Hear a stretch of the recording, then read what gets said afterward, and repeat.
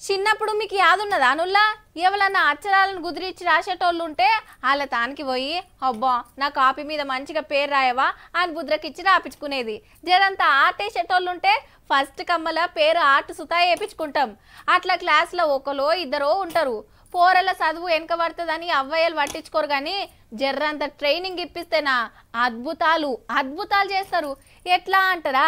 ఓ పారికి తమ్ముని కలజుడుర్రి భారతదేశం మ్యాప్లా పైన మోడీ సారు అటు కేసీఆర్ సారు ఇటు ఆంధ్ర సీఎం జగన్ అన్న. ముంగట కరోనాతో కొట్లాడుతున్న పోలీసు డాక్టరు సఫాయి వాళ్ళ. ఏ ఏడాది సంది చూస్తూనే ఉన్నాం. గిన్ల కొత్తేముంది అని అంటారా? అయితే గీ బొమ్మలు చూడుండ్రి.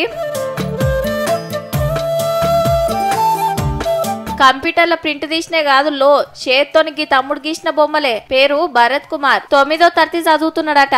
మన వరంగల్ జిల్లా తొర్రూరులుంటాడు. తమ్మునికి ఓ తెల్ల కాగితము చేతికి ఓ పెన్సిల్ ఇచ్చినమా అంటే చూస్తుండగానే అదిరిపోయే బొమ్మ గీసి పడేస్తాడు. ఈ స్కూల్ పోయొచ్చినాక ఖాళీ టైం దొరికితే బొమ్మలు దించుడు ప్రాక్టీస్ చేసేదట.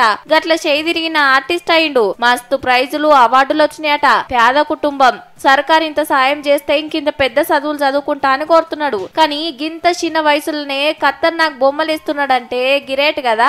ఇప్పటిదాకా ఏమేం గీసిండో అన్ని కలిపి ఓ పారు చూడుర్రి.